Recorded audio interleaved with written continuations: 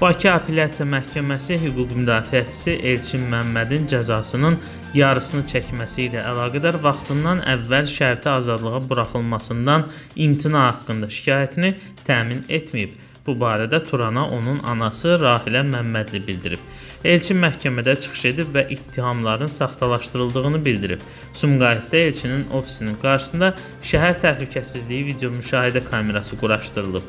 Bu kameranın görüntülərinə baxılsa, gecə vaxtı kənar şəxslərin onun ofisinə girdiyi, güllə və dırnaqarası zərər çəkmişin zinət əşyalarını qoyduğu aydın olacaq. Ofisin sahibi də onda ofisin başqa açarı olduğunu etiraf edib.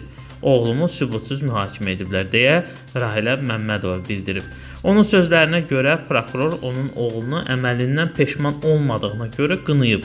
Oğlum törətmədiyi cinayəti heç vaxt etiraf etməyəcəyini deyib. Məhkəmə nəinki oğlumun təqsirsiz olduğunu, hətta mənim onkoloji xəstəliyi olan yaşlı anasının, yetkinlik yaşına çatmayan iki övladının onun himayəsində olduğunu da nəzərə almayıb. Elçin özü də xroniki xəstəliklərdən əziyyət çəkir deyə Məmmədova qeyd edib. O apellyasiya instansiyasının qərarından ali məhkəməyə kassasiya şikayəti veriləcəyini bildirib.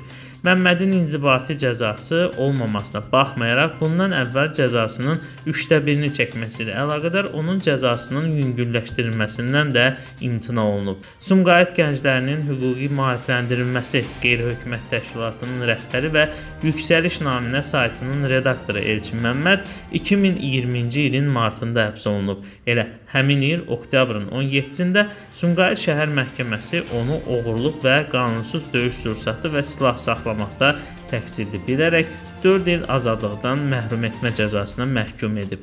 Amnesty International və digər beynəlxalq təşkilatlar Məmmədin həbsini pisləyib. Yerli hüquq müdafiəçiləri onu siyasi məhbus kimi tanıyıblar.